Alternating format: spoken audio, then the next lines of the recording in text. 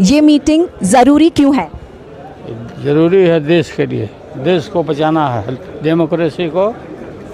इसलिए हर हालत में देश के किसान मजदूर नौजवान माइनॉरिटी सबकी रक्षा करना है। नरेंद्र मोदी के शासन में बिल्कुल समूचा समाप्त हो चुका है।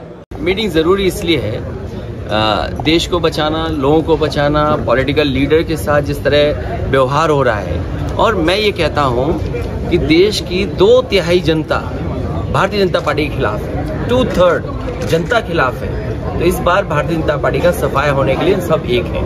This meeting is a continuation of the process that was started uh, in Patna a few weeks ago. I think it's important uh, uh, a united stand against uh, everything that is going wrong in this country, particularly the way in which the constitution is uh, being eroded, the way in which the secular fabric of this country uh, is being undermined, and uh, all sensible uh, parties need to come together and unite in, in opposition to this.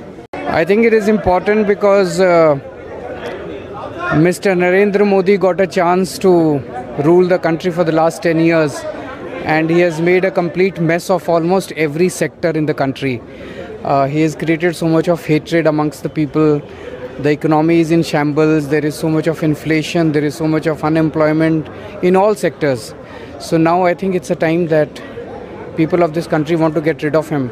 So everyone needs to come together and I think this is a good meeting. This is a uh, fruitful meeting and it's a constructive, constructive decision we will take it. All the agenda is very fruitful. Let us discuss it today and if the outcome is come, outcome today what we discussed, after that the outcome may be the good for the people of this country. This meeting is important because we want to save India as we know what India is. And I think India is under a tremendous assault today, multidimensional. And the country has to be saved in order to change it for the better.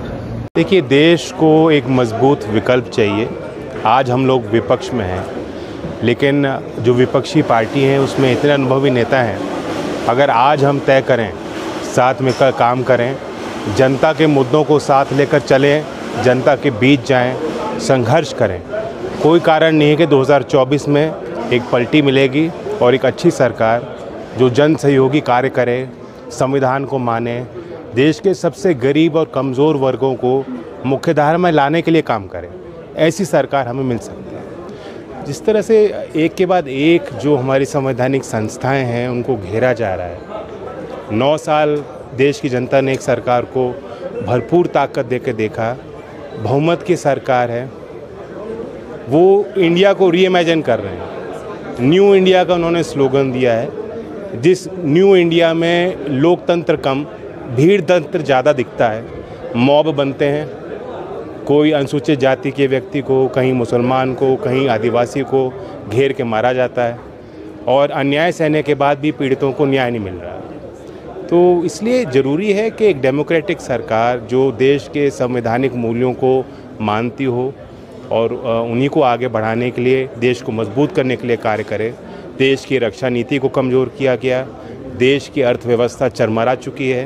देश में जो camera वर्ग है, जो किसान वर्ग है, जो मज़दूर वर्ग है आज उनके जीवन में दो जून की रोटी उनको मिलना, इज़्ज़त और सम्मान मिलना, उनका भविष्य उज्जवल होना कितना दुश्वार उनके लिए हो चुका है। तो उन्हीं के लिए हम लोग काम करते आए हैं। आज एक समन्वय बनेगा, चर्चाएँ होंगी और उससे रास्ता निकलेगा।